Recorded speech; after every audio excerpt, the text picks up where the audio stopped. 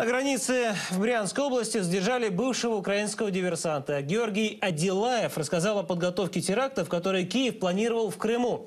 Выяснили, кто конкретно стоял за организацией. Эксклюзивные кадры допроса в материале Антона Подковенко.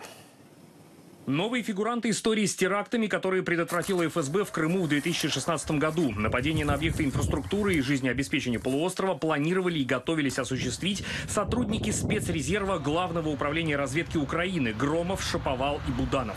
Александр Громов, начальник отдела спецразведки, был правой рукой полковника Максима Шаповала, главы всего спецрезерва. Его взорвали в автомобиле в Киеве летом 2017 года. Квалифицировали как теракт. Ему еще Порошенко посмертно звание Героя Украины присвоил. А Кирилл Михаил Буданов – это просто сотрудник отдела украинской спецразведки с репутацией самого отмороженного. Участвовал во многих операциях на юго-востоке страны. Мне известен сотрудник спецрезерва ГУРМО Украины, майор э, Буданов Кирилл Алексеевич на 2015 год. 86 -го года рождения, который принимал участие в спецоперациях ГУР в зоне АТО.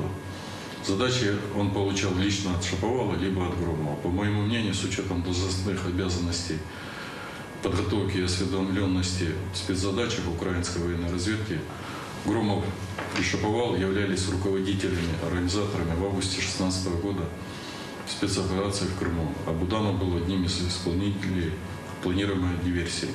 Все вышеуказанное сказано мною без всякого психического и физического воздействия со стороны.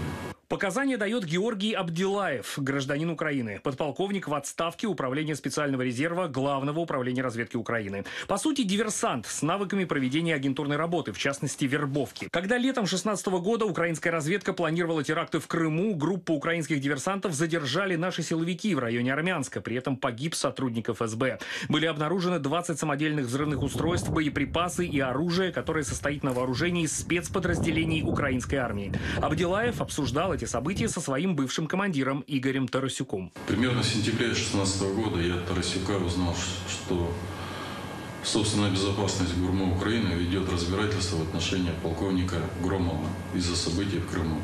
В связи с этим я для себя сделал вывод о том, что Громов наверное, участвовал в разработке указанной спецоперации августа 2016 года в Крыму и непосредственно руководил ею.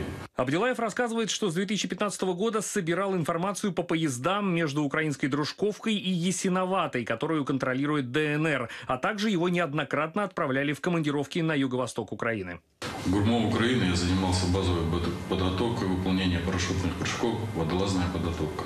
Я трижды командировался в зону АТО на юг-восток Украины, а именно в город Краматорск, лагерь «Патриот», в НП Очеретина Донецкой области. В мои функциональные обязанности входило осуществление охраны радиоэлектронной техники.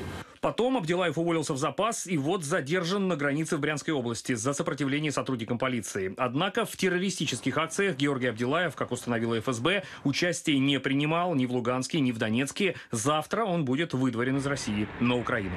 Антон Подковенко, Вести.